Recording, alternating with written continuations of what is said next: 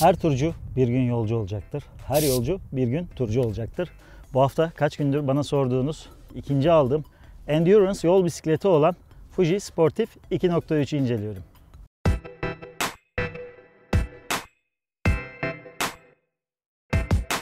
Her turcu bir gün yolcu olur dedik ama siz benim böyle dediğime bakmayın. Hiçbir zaman turculuktan vazgeçmem ama yol bisikletinde nimetlerinden faydalanmak gerek diye düşünüyorum. Elimde tutmuş olduğum bisiklet Fuji Sportif 2.3. Bu bisikleti tercih etmemdeki en büyük sebep neydi arkadaşlar? Endurance yol kadrosuna, geometrisine sahip olmasıydı. Peki Endurance yol kadrosu ile yarış tipi yol kadrosunun arasındaki fark nedir? Endurance yol kadrosu biraz daha rahatlığa yönelik üretilmiştir. Ekranda gördüğünüz gibi size biraz daha dik oturuş pozisyonu sağlar. Bu sayede bu bisikletle uzun yollarda yorulmadan pedal basabilirsiniz. Artı bu bisikletlerin birkaç özelliği daha var. Dışarıdan baktığınızda yarış tipi yol kadrosuyla çok fazla farkları yokmuş gibi gözükse de aralarında ciddi farklar vardır. Bir tanesi örneğin yarış e, tipi kadrolarda seli daha yukarıdayken bunlar da biraz daha aşağıdadır. Üst boru e, özür dilerim. Ön gidon biraz daha yukarıda olup sizin için biraz daha konfora yönelik üretilmişlerdir. Ayrıca dişli oranlarına geçtiğimizde de dişli oranları yol bisikletlerinden daha farklıdır. Normalde yol bisikletlerinde 53-39 gibi ön ayna kol oranları kullanılırken bunlarda 50-34 gibi ön ayna kol oranları kullanılır.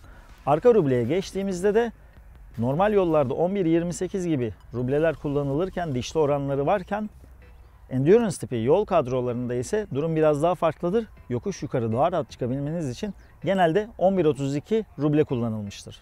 Bu yüzden siz de benim gibi ilk defa yol bisikleti alacaksanız benim size önerim tercihinizi ilk etapta Endurance tipi bir yol kadrosundan yana yapmanız. Şunu da videonun arasına sıkıştırmadan edemeyeceğim. Beni görüyorsunuz şu anda tight'ım üzerinde, bisiklet formam üzerinde, kaskım ve eldivenlerim üzerimde tamamen bir yolcu olarak görünüyorum. Kesinlikle ve kesinlikle tight giymekten, forma giymekten utanmayın arkadaşlar. Gelelim bizim bisikletimize bakalım Fuji Sportif 2.3'te ne gibi donanımlar varmış. İlk etapta gidondan başladığımızda gidon olarak Fuji her zamanki gibi kendi yan markası olan ovali tercih etmiş. Aynı şekilde gidon boynunda da ovali tercih etmiş. Vites değiştiricilerine shifter dediğim zaman bana kızan arkadaşlar var. O yüzden onlar için vites değiştiricisi diyeyim bu sefer.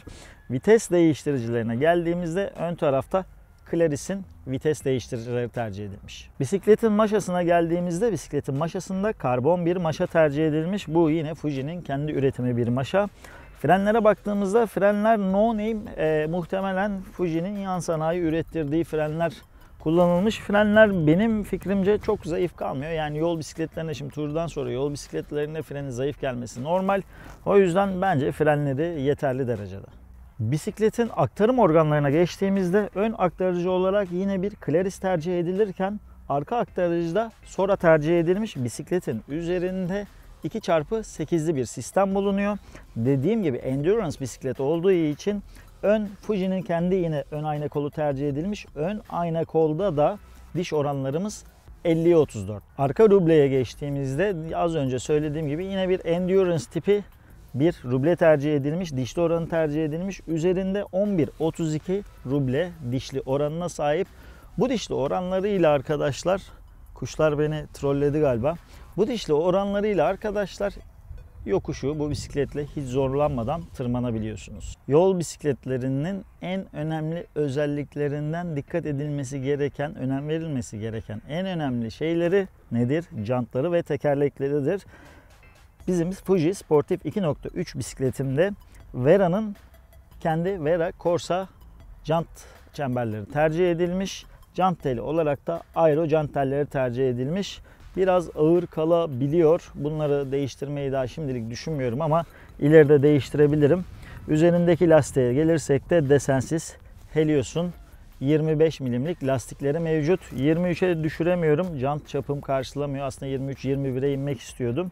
Ama yukarıya doğru bunları bu lastikleri kalınlaştırabiliyorsunuz. Bisikletin göbeklerine geldiğimizde Fuji'nin kendi göbekleri tercih edilmiş. Fuji'nin göbeklerinden ben genelde memnunum. Fuji göbek konusunda yani no name yaptırsa da dışarıya genelde düzgün göbekler tercih ediyor. Bunların haricinde size söylemem gereken herhangi bir şey var mı diye düşünüyorum. Evet, e, selesine gelecek olursak arkadaşlar, selesi tüm Fuji'lerin standardıdır. Oval 300 marka bir sele kullanılmış. E, bu seleyle ben geçenlerde 90 kilometreye yakın yol yaptım.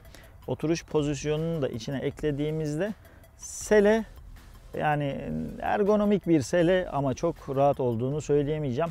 İleride belki bu seleyi Brooks Cambion'la değiştirme ihtimalim olabilir. Bisikletin ağırlığından bahsedecek olursak tur bisikletinden sonra bana bu bisiklet kuş gibi geldi. Ekranda görüyorsunuz yol bisikleti için ne ağır ne de hafif diyebiliriz.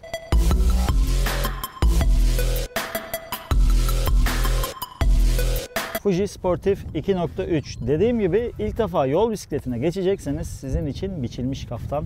Üzerindeki anlattığım gibi diş oranları olsun, kadro yapısı olsun, özellikle endurance yol kadrosuyla ilk defa yol bisikletine geçecekler için biçilmiş kaftan. Bu haftalık benden bu kadar arkadaşlar. Önümüzdeki hafta yeni bir videoda görüşünceye dek kanalıma abone olmayı unutmayın. Kendinize çok iyi bakın.